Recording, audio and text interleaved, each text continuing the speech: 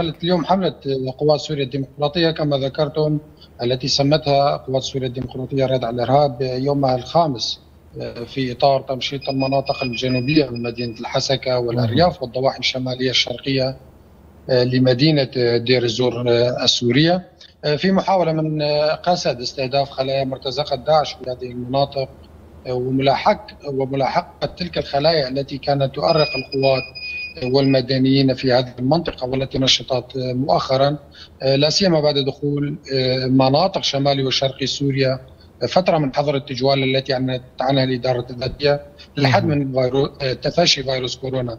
اليوم في اليوم الخامس بدأت قوات قسد مرحلتها الثالثة الثالثة ضمن حملة ردع الإرهاب وهي مرحلة استهداف القرى والبلدات الواقعة بين ناحية الصور ونهر الفرات شمال وشرقي مدينة دير الزور السورية. بعد انتهاء من مرحلتها الثانية التي استهدفت صحراء المنطقة نفسها.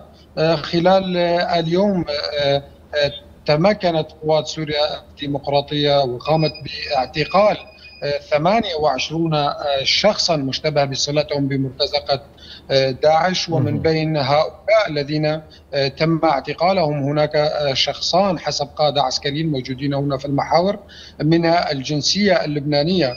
تم اعتقالهم في الريف الشرقي لناحية الصور ومنطقة الروضة في صحراء المنطقة الشمالية الشرقية لمدينة دير الزور. أريد أؤكد على هذه المعلومة هناك اعتقال ل 28 شخصا بين مشتبه بصلتهم بمرتزقة داعش وبين مرتزقة اثنان منهم جنسيتهم لبنانية. وأيضا كما شاهدنا هنا اعتقال أحد عناصر تنظيم القاعدة وهو سوري الأصل. كان مطلوبا لقوات التحالف وقوات سوريا الديمقراطية وكان مطاردا ومطلوبا من قبل الطرفين. اعتقل هذا المرتزق في منطقة الروضة بالتحديد بالقرب من الحدود العراقية السورية شمال شرق مدينة دير الزور السورية. هذا الشخص كان مطلوبا للتحالف الدولي وقوات سوريا الديمقراطية. كان أحد عناصر تنظيم القاعدة طيب. المصنفة إرهابيا عالميا. طيب أحمد يعني شددت على الأعداد الذي تم إلقاء القبض عليهم من قبل قوات سوريا الديمقراطية وبحسب اطلاعنا على سير العملية كان قبل قليل اعتقال ثمان مشتبهين بانتمائهم لداعش وفي وقت سابق من اليوم أيضا تم الإعلان عن 20 شخص أيضا يشتبه بانتمائهم لهذا التنظيم الإرهابي ومن ضمنهم شخص مطلوب لقوات التحالف الدولي هو منتمي لتنظيم القاعدة من جنسية سورية. العدد الكلي أو هل لديكم أي عدد دقيق للعدد الكلي منذ انطلاق هذه العملية العسكرية إلى الآن أحمد؟ نعم بالمحصلة خلال متابعتنا الميدانية لهذه العملية فقد وصل عدد من من اعتقلوا على خلفية العمليات بين مشتبه بهم وبين مرتزق الداعش إلى 95 شخص. بالتحديد.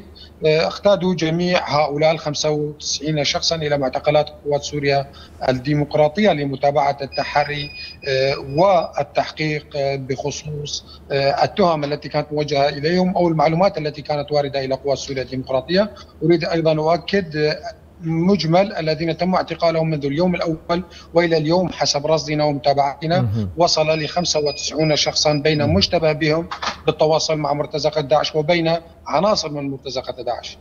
نعم أنا أشكرك جزيل الشكر على كل هذه التفاصيل الصحفي في وكالة هوار للأنباء الأستاذ أحمد محمد، شكرا جزيلا لك كنت معنا من الشمال السوري.